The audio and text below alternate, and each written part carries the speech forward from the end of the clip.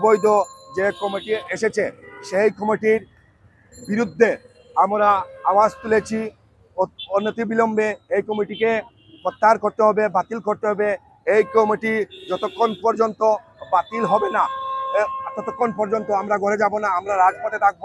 আমরা রাজপথ থেকে আন্দোলন সংগ্রাম করে আজ এই পর্যায়ে আমরা দাঁড়িয়েছি।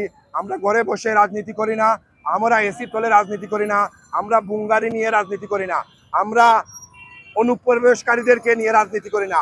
আমাদের একটাই দাবি, বুঙ্গারি অনুপ্রবেশকারীদেরকে বাদ দিয়ে রাজপথের ত্যাগী নেতৃবৃন্দকে নিয়ে নতুন কমিটি গ্রহণ, গঠন করতে হবে। অন্যথায় আমরা আমাদের সিনিয়র নেতৃবৃন্দ বলেছেন আটচল্লিশ ঘণ্টা। আটচল্লিশ ঘণ্টার ভিতরে আমাদের দাবি মানতে হবে।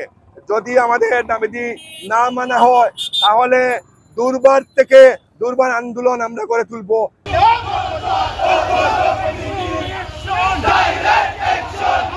চলাকালীন অবস্থায় কেন্দ্রীয় যুব দলের সিনিয়র সহসভাপতি বলবেন নির্দেশের আমরা কিছুক্ষণের জন্য আমরা আন্দোলন থেকে সরে যাচ্ছি।